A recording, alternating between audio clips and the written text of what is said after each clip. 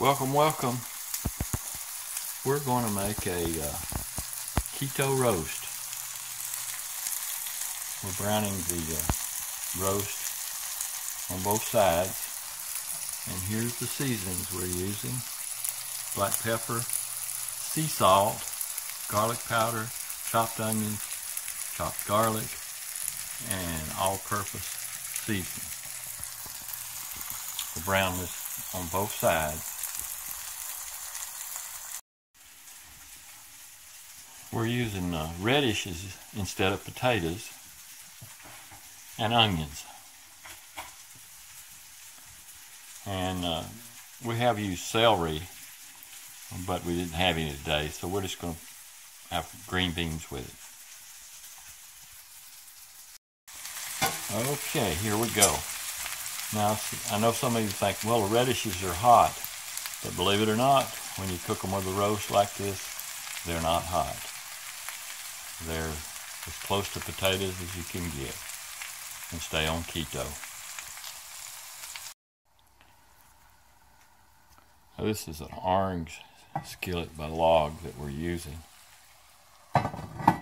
And we got the oven preheating to 350.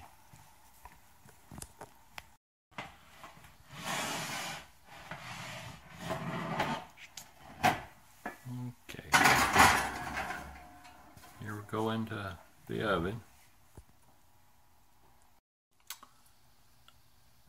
Okay, we've been an hour in the oven. We'll take it out, have a look at it, and turn it.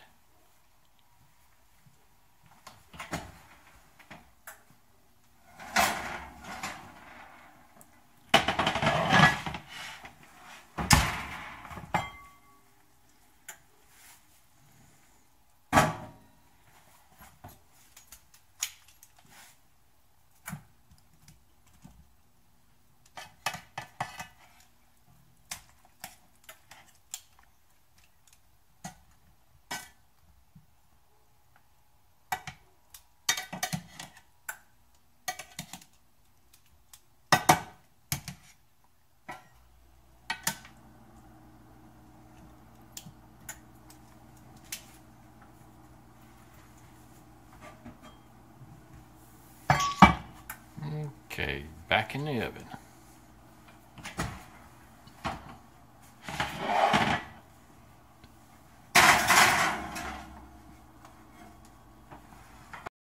Okay, it's been another hour. We're going to take it out and see how it's looking. So that's two hours we've had it in the oven.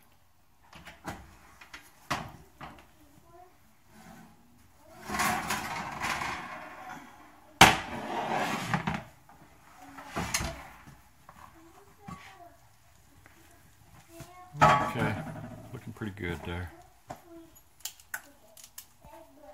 Now we're going to put some green beans in there. Uh, we can't use carrots because carrots has got sugar in them. We used celery before, but anything you want to put in there. But today we got green beans, so we just put green beans in there. We're going to put it back in the oven for maybe about 10 minutes. And that should be it. Be back. Okay, we're taking it out of the oven for the last time, I think. It's been two hours and ten minutes.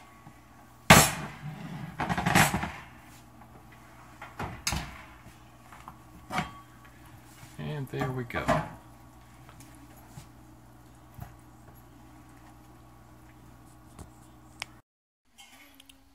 Here's our keto dinner.